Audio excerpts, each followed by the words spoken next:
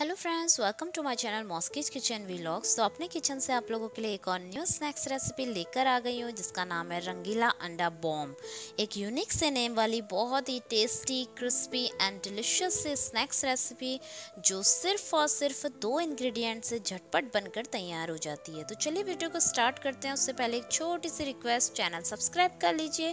Bell icon press करना बिल्कुल भी ना भूलें। तो ये दो इंग्रेडिएंट हैं boiled egg and boiled potatoes तो यहाँ पर मैं दो लोगों के लिए स्नैक्स रेसिपी बना रही हूँ, जिसके लिए मैंने यहाँ पर चार बॉइल्ड एग ले लिए हैं और साथ ही चार बॉइल्ड पटेटोज तो आप चाहें पटेटो की क्वांटिटी कम कर सकते हैं, यानी कि तीन बॉयल पटेटोज भी ले सकते हैं. तो एक बड़ा बाउल खाली आपने लेना है इस तरीके से और उसमें हम सबसे पहले ये बॉयल्ड अपने पटेटोज जो हैं वो डाल लेंगे. साथ ही फाइनली चॉप्ड ग्रीन कोरिएंडर इसमें ऐड कर लेंगे. अब जाएँगे कुछ स्पाइसेस जिसमें सबसे पहले सॉल्ट एच पर टेस्ट साथ ही इसमें जाएगा pinch of turmeric red chilli powder taste के अकॉर्डिंग और यहाँ पर मैंने देगी मिर्च ऐड करी है, जो एक बहुत अच्छा रेड कलर भी देती है। साथ ही one spoon garam masala powder and one spoon chaat masala powder अब इन सभी को हम अच्छे से हाथों से मिक्स कर लेंगे। बहुत अच्छे से आपने इन बॉयल पोटेटोज को मैश कर लेना है। तो यहाँ पर ये रेडी हो गए हैं मसाला हमारा। अब हम एक स्लरी रेडी करेंगे, जिसके लिए मैंने एक बाउल ले लिया है और इसमें ऐड कर रही हूँ कॉर्नफ्लावर तो यहाँ पर थ्री स्पून कॉर्नफ्लावर मैं ऐड कर रही हूँ। अब इसमें जाएगा पिंच ऑफ़ सॉल्ट एंड साथ ही हम इसमें ऐड करेंगे pinch of black pepper powder अब थोड़ा सा पानी डालकर हम एक थीक स्लरी रेडी कर लेंगे। हमें ज़्यादा पतली स्लरी नहीं बनानी है, थोड़ी सी थीक ही रखना है। तो यहाँ पर आप देख सकते हैं, एक परफेक्ट कंसिस्टेंसी वाली स्लरी हमारी रेडी हो गई है।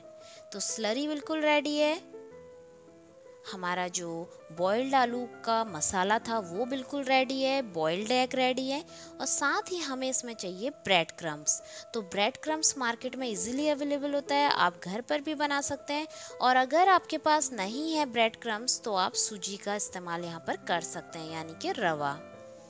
तो अब हमने एक बॉयल्ड एग लेना है और उसके चारों तरफ़ हमने ये बॉइल्ड आलू का जो मसाला हमने रेडी किया है, उसे लगाना है।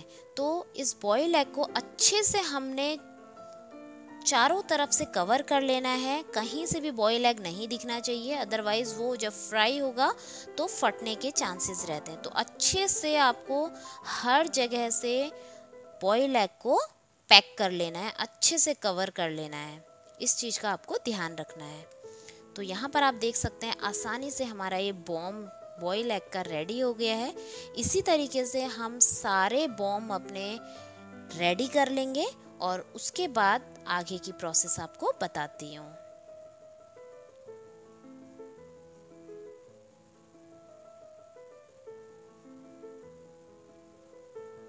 तो यहाँ पर आप देख सकते हैं, चारों ही बॉम हमारे बिल्कुल रेडी हो गए हैं और अब मैंने एक बॉम ले लिया है और इसे अब मैं डिप करूँगी हमारी स्लरी में। तो इस बाउल को हम लेंगे और इसमें हम ये जो हमारा अंडे और आलू का बॉम है, इसे डाल लेंगे और हर तरफ़ से स्लरी में अच्छे से डिप करेंगे और उसके बाद इसे हम अपने ब्रेड क्रम्स में डाल लेंगे।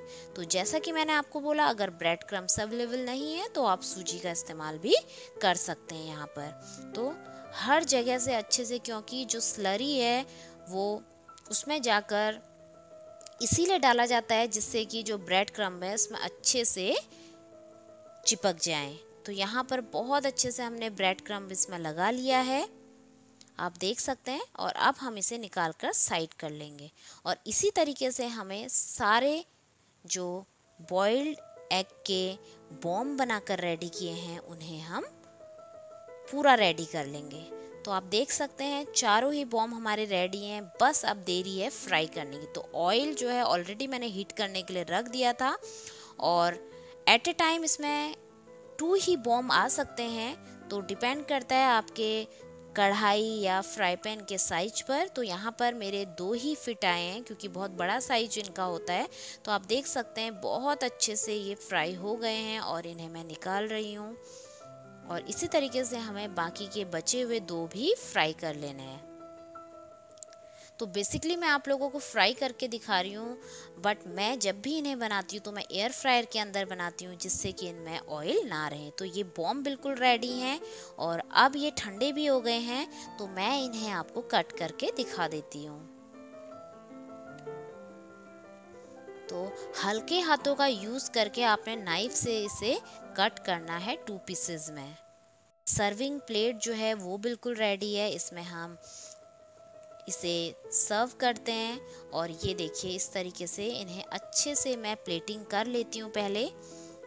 एंड ऊपर से थोड़ा सा हम ग्रीन कोरिएंडर जो होता है उससे गार्निश कर लेंगे। तो फ्रेंड्स फाइनली हमारा रंगीला अंडा बॉम ये कलरफुल एग बिल्कुल रेडी हैं खाने के लिए।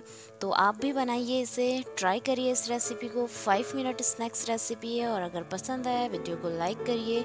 एंड फ़र्स्ट टाइम विजिटर हैं चैनल सब्सक्राइब करना बिल्कुल भी ना भूलें।